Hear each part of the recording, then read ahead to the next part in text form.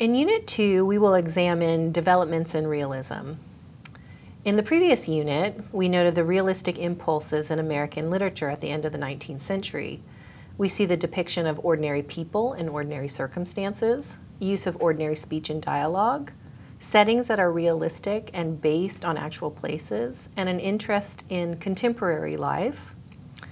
We also paid attention to aspects in these works that aren't so realistic those narrative details and techniques that are obviously invented. For example, the coincidence that we see in plots, romantic speech or descriptions, and the use of allegory and symbolism. So Sylvia in A White Heron, for example, isn't just a girl experiencing New England wilderness. She represents nature or wilderness herself. And the hunter isn't just an outsider to this region, he represents the threat of society to the wilderness. Two of the stories that we are reading for Unit 2 take up William Dean Howells' moral imperative to create realistic fiction that calls attention to social problems while addressing the problems of realistic representation. In particular, Charles Chesnutt's A Wife of His Youth and Sui Sin Far's Mrs. Spring Fragrance both call attention to issues related to race. Chesnutt's story, The Wife of His Youth, on the surface comes off as a type of O. Henry story, one that provides an interesting and surprising twist at the end. Chesnutt has been described as a local colorist, working in a mode pioneered by white authors such as Joel, Handler Chair, Joel Chandler Harris, whose Uncle Remus stories fe featuring romanticized versions of plantation life were highly popular. But the wife of his youth resists romanticized images of plantation life by highlighting one of the negative outcomes of slavery. And that outcome is the separation of loved ones, the lasting, the lasting disruption of family life in African American communities. Writings by African Americans in the postbellum period often feature family members searching for and finding one another. In addition, underlying The Wife of His Youth are questions about the depiction of black American life. In which direction does reality lie? Is it toward the South and rural plantation, or toward northern cities where many blacks fled after and during the Civil War?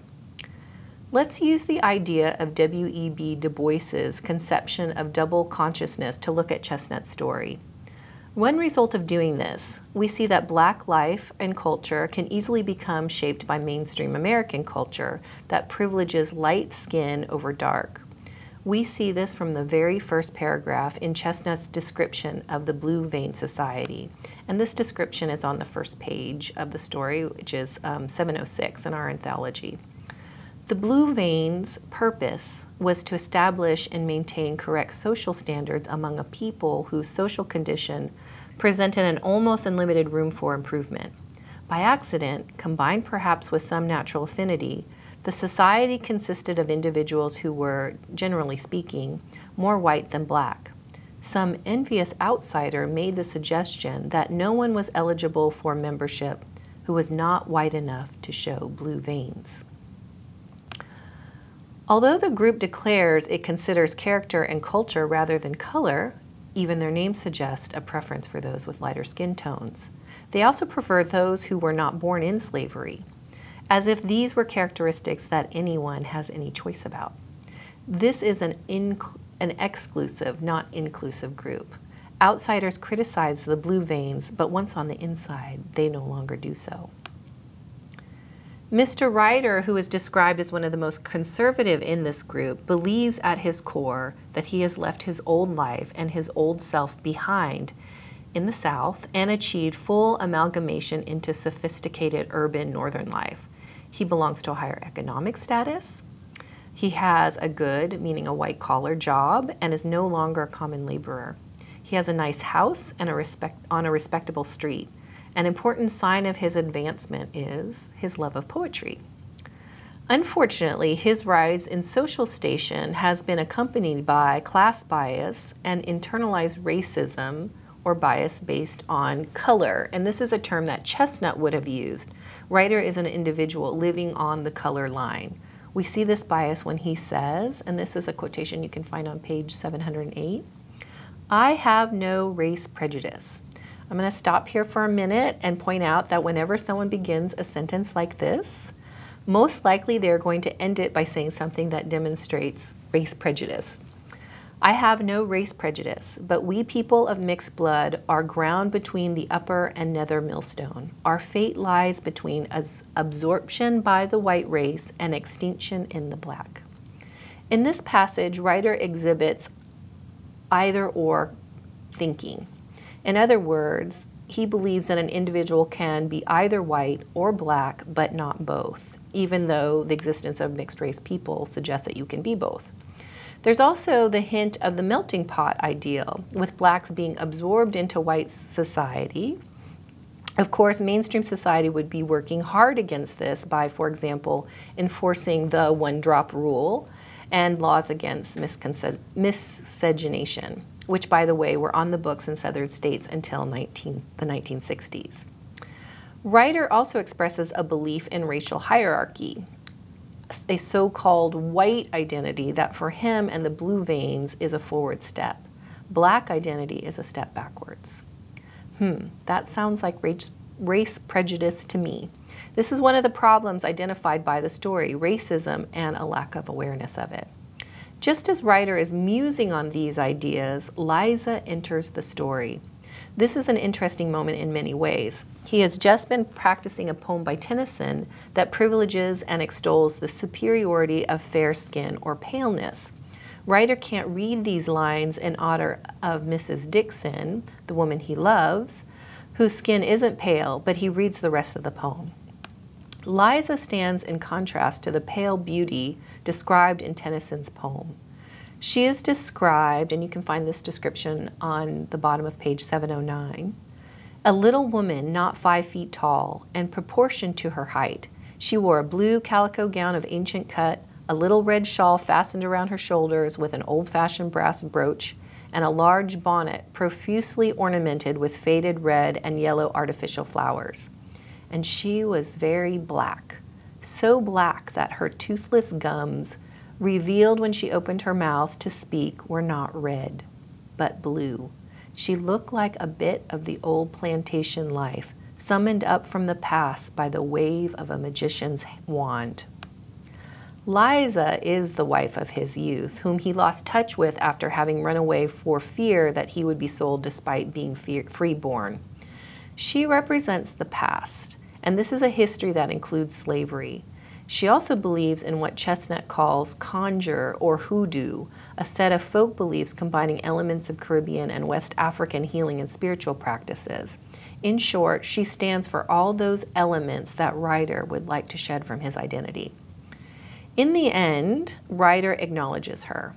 Invoking another Tennyson poem, he accepts the dictum, to thine own self be true.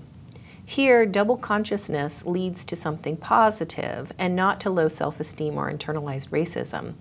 Being aware of the demands of mainstream culture and black culture and history leads him to a better version of himself. Ryder develops an awareness of prejudice and a desire to overcome it, but this isn't going away and it's not going to be easy. We are left not knowing what will happen next after the last page of this narrative. We don't know if the social club is going to accept Liza and incorporate her in the social gatherings, nor do we know if Liza would even want that. Sui Sin Far's Mrs. Spring Fragrance also calls our attention to racism at the turn of the 20th century. Like Chesnutt, Pharr is calling for social change and thus also heeding Howells' call in Editha. But there are more decidedly unrealistic aspects in this story, which I'm featuring in a section called Realism. For example, the story setting. The spring fragrances live in an integrated Seattle neighborhood, which doesn't in fact mirror the experiences of the majority of immigrants from China who lived in crowded ethnic enclaves that would later become the West Coast, West Coast Chinatowns that we know today. In addition is the characterization of Mrs. Spring Fragrance herself.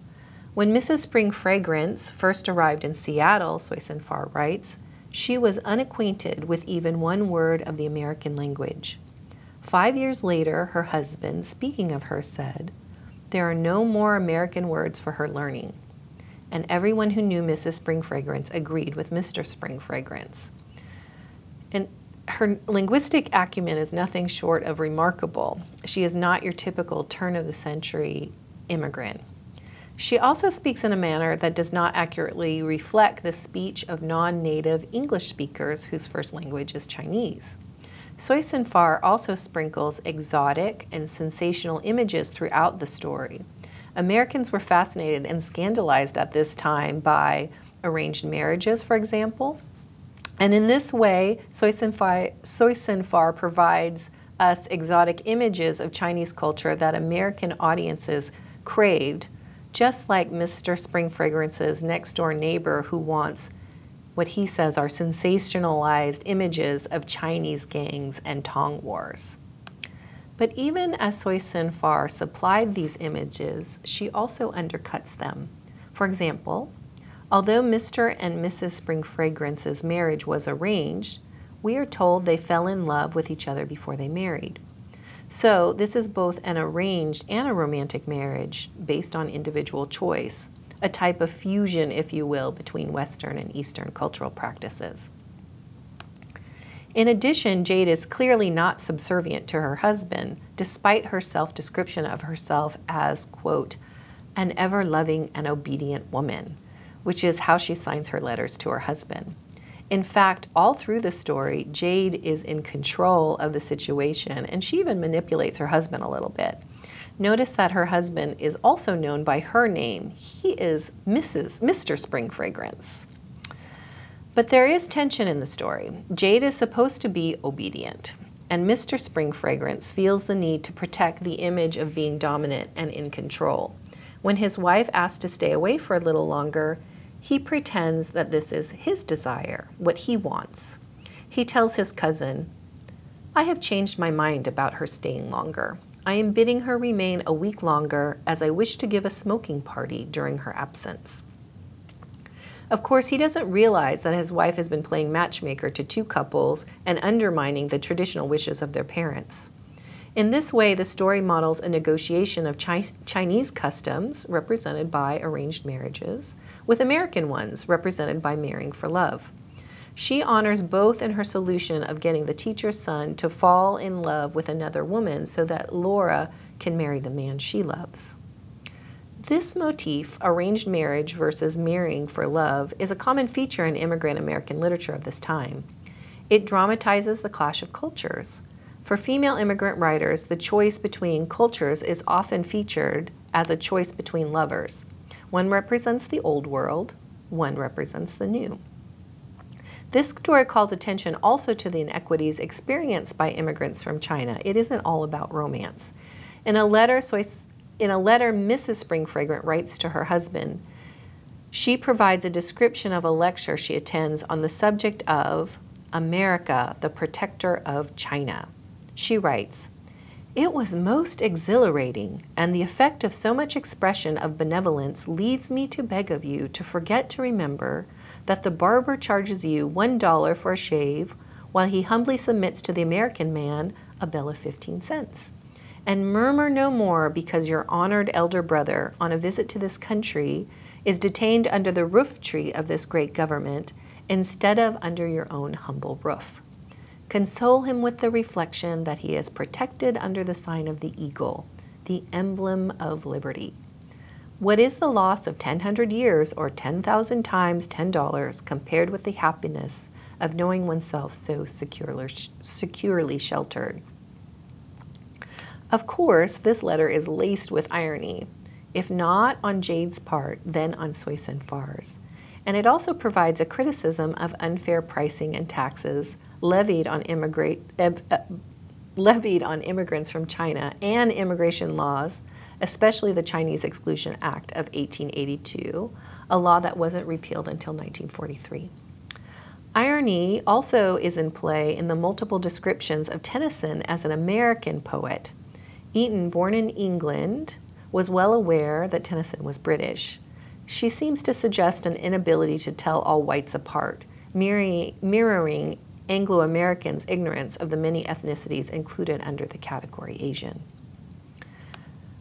By calling attention to racial bias, Jade convinces her husband to acknowledge gender inequities, which have limited Laura to an arranged marriage to a man she doesn't love. In the end, two couples marry for love, and Jade is reconciled to her husband, who has bristled at signs of her independence. The story also encourages us to consider the choices Sui Sin Far has to make as an artist in terms of her employment of realism. And this is the last point I want to make.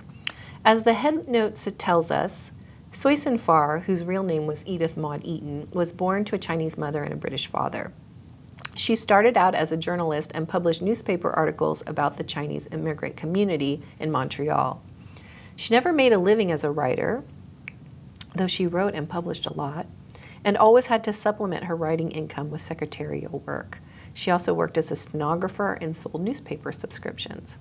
But she was able to place her fiction more easily after she adopted the Chinese name Sui Sin Far. As a writer, she was faced with contrasting impulses.